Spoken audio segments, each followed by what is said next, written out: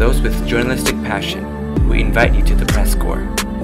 for your words can amplify the